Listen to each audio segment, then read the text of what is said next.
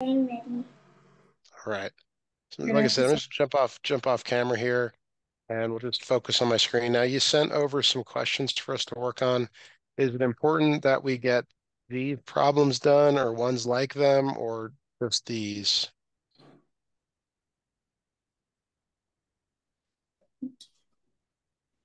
What would be best to help you? Do you want to do the problems that we sent over or just something similar? Okay, something similar. You, Okay. All right, so uh, the first problem on your, your paper there is uh, it's a whole number and you're subtracting a, a fraction basically from it. So let's just do something like six minus uh, one and one third, okay? So there's uh, the best way to proceed here is to uh, understand that on the right here, it's really minus one minus one third, which may look weird, but that is that is what's happening. Um, this may be different than than what you've seen in class as well. So if it is, you know, just go with it for the moment. This six, we're going to break apart into five plus one, five plus one here. And then we've got this minus one minus one third. So you end up taking this five and subtracting one, which is four. And then what's left over is this one minus one third. So we're going to kind of come off to the side here to do that. Do you remember how to subtract a whole number and a fraction like this? What what is required? Um, no. Okay, so you got to make a common denominator. So right now it's one over one. What is the common denominator between the one and the three? Um, three. Three, good. So this becomes three over three minus one over three. You keep the bottom, but subtract the top. So what does the top become? Two. Two. And then you bring that back. That's your, that's your final answer, four and two thirds. Does that look at all familiar to what you guys are doing in class? Yeah. Okay, that's good. All right, so let's try another one here.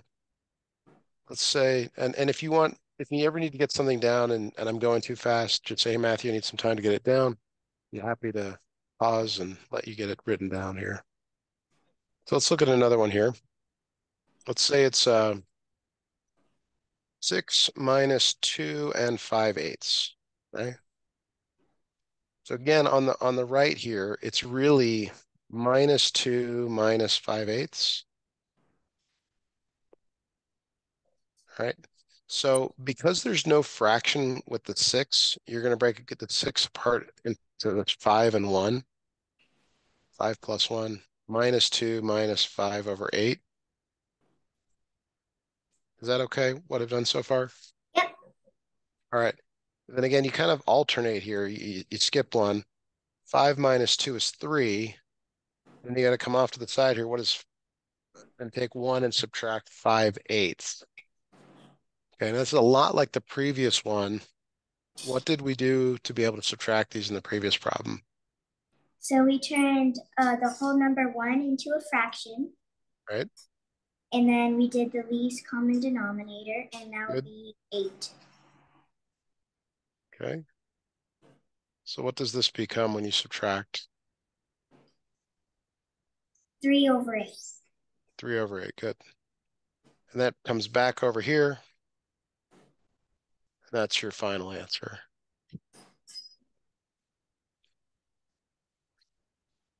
Is that okay? Mhm. All right. Are you ready to try one on your own? Yep. Okay.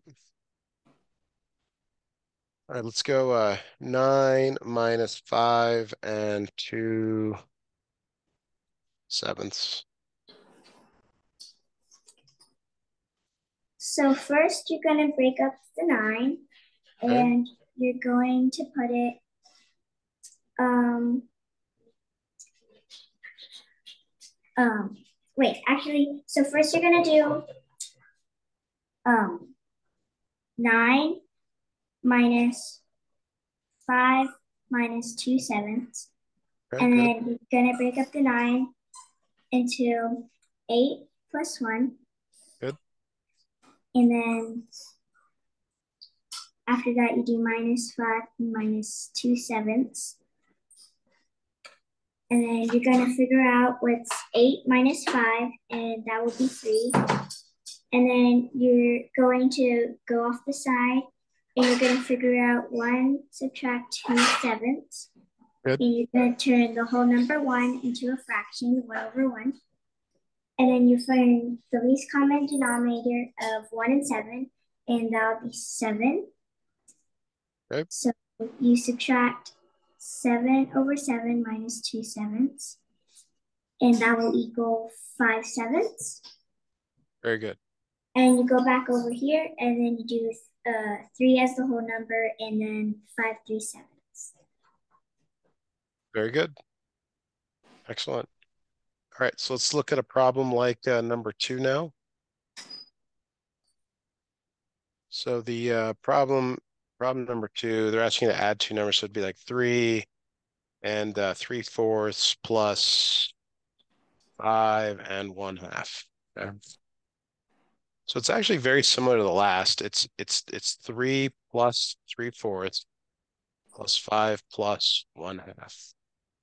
So whatever whatever the operator is, it, it, goes between the, the the fraction, the mix, the whole number and the fraction. The it's not written, but the first one is positive. Um, and then you again kind of combine every other one. So three plus five is eight. And then you come off the side and you're like, okay, how do I how do I add these two fractions? Maybe maybe you already know how to do that. Uh, I think you do least common denominator. Okay, what would that be in this case? Uh, four. It is four, so you can keep the three fourths. What does the one half become when you put a four on the bottom? Um, it becomes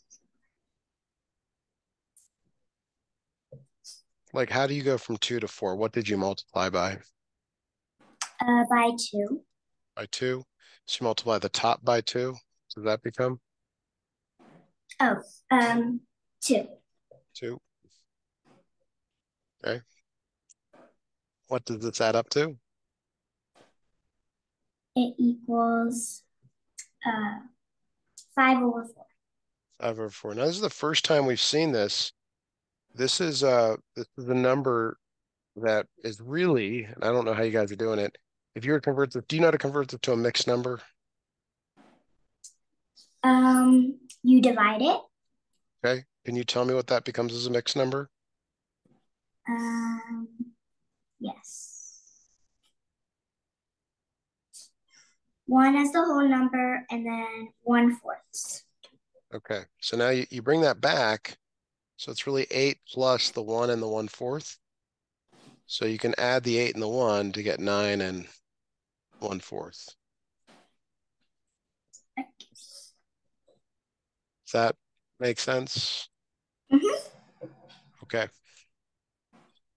So let's just just just briefly make sure you know how to do this. Um, how would you write 10 over 8 as a mixed number? Um, so you would divide Okay. 10 divided by 8, and then that would go into 10 one time. So then you do 10 minus 8, and that would be 2. So then it would be remainder 2 since 8 doesn't go into 2. And then you would write 1 as the whole number, 2 as the numerator, and 8 as the denominator.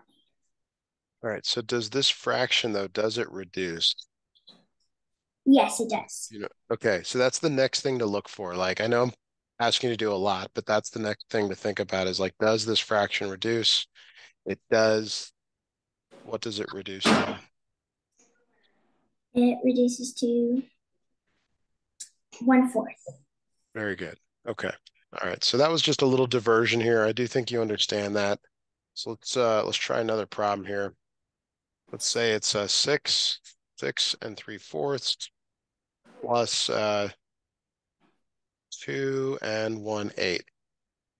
So this is very much like the one I just did. Do you want to try it on your own or do you want another example for us to work through? Um, I think I could try it on my own. Okay. It is very much like the one we just did before, for this previous problem. So first you're gonna do six plus three fourths plus two and plus one eighth. Good. And then you're gonna do six, um, six plus two, and that will be eight. Good. And then you're gonna do, um, so then you're going to take the three fourths and you're going to add the one eighth. Okay. But then you're gonna have to do LCD. So then that will equal eight. LCD.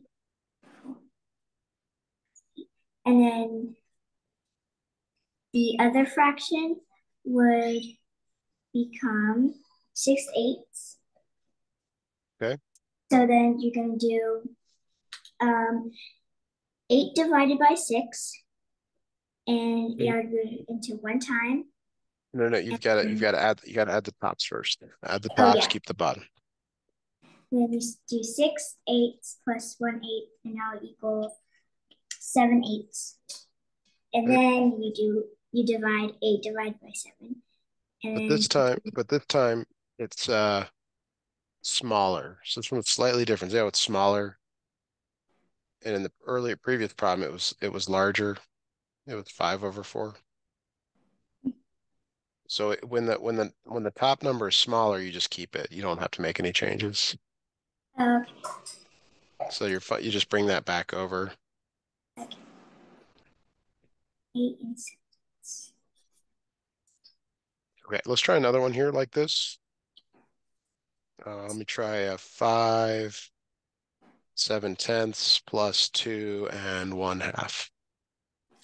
Two and one half. So give this one a try, please. Okay. So first you're going to do five plus seven tenths plus two plus one half. And then you're going to do five plus two, and that's seven. And then you're you are going to do three fourths. I mean, This is, uh, yeah, seven tenths, seven tenths. And you're going to add the one half. And so um, you're gonna have to find the LCD of ten and two. And that will be five. no, no, it's, it's gotta be, you always try the other, you always see if the, the smaller number can go into the larger. Okay. So it would go into the ten. Um, it would, I think it would go into the ten five times. Right, right, that's good. Okay.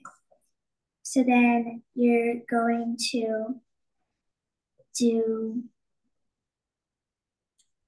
um you're going to do seven tenths and then you're gonna see if it's into five and five times. Okay. So what is the top number? Um it would be 35. No, no, you're, you're, the, the seven tenths stays the same. Oh.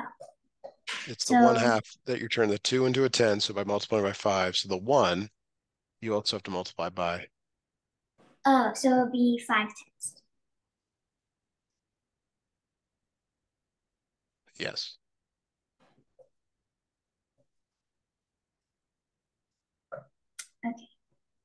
Then after that, you're going to um, bring around the fraction to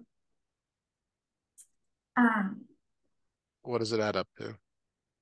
oh, it adds up to uh, 12 tenths. Okay, And then you could reduce that and you could do 12 divided by 2 and 10 divided by 2. And that would Okay. equal um, 6 over 5. Okay, give me that as a mixed, mixed number, please. Okay. So the whole number would be 1, and then the numerator would be 1, and then the denominator would be 5. Okay, so one and, 1 in um, 1 fifth. so bring that back over. And that will be 7. I mean, yeah, 7 plus one fifths, 1 1 fifths, and that will equal 8 1 fifths. Very good. Okay. All right, now I noticed a couple things there, so we're gonna work on those now. Um.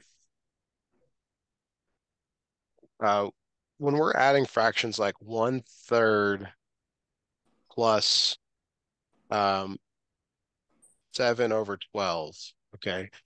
One of the first things you can do is see, does the smaller number go into the larger? Like, can you go from three to twelve by multiplying?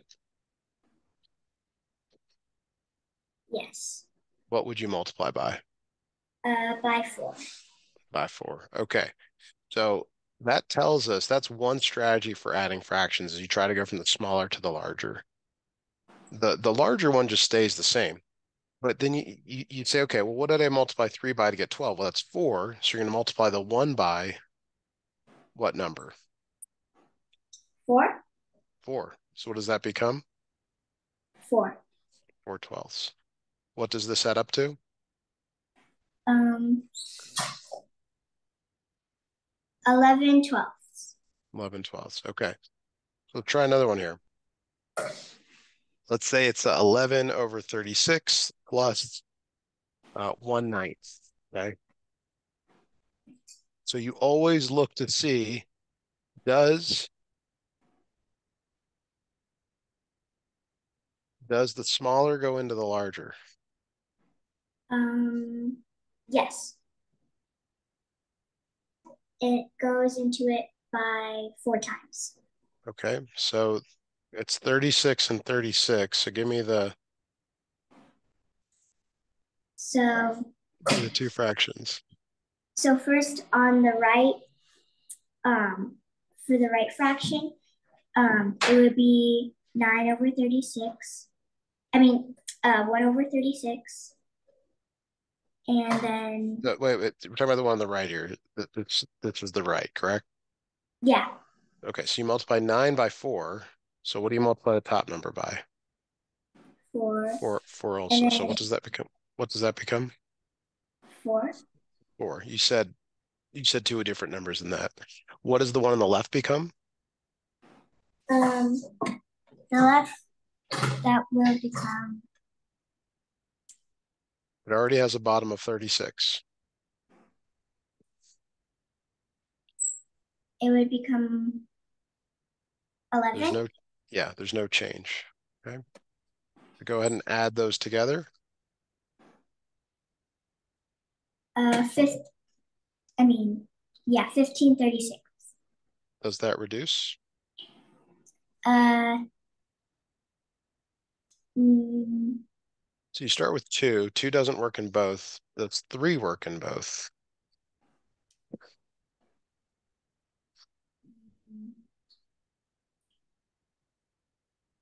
no Fifteen is divisible by three and so is thirty-six. uh, Try that one more time. so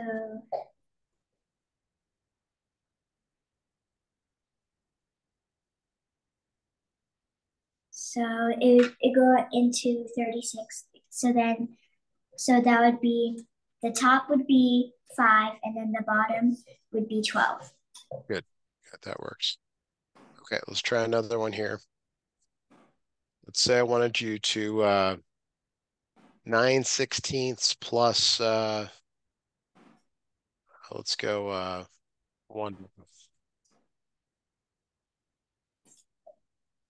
So first, you're going to see if 2 goes into 16, and it does, and it would go into 16 eight times. Okay. And then, and then you're going to do um, one times eight, and that'll be eight. Okay, good. And then the other would be nine. All right, so go ahead and add these together. It would be 17 sixteenths. Okay, and what is that as a mixed number? That would be one as the whole number, one as the numerator, and 16 as the denominator. You got it. All right. Okay, so we're actually going to stop there for today. Uh, really good job. Um,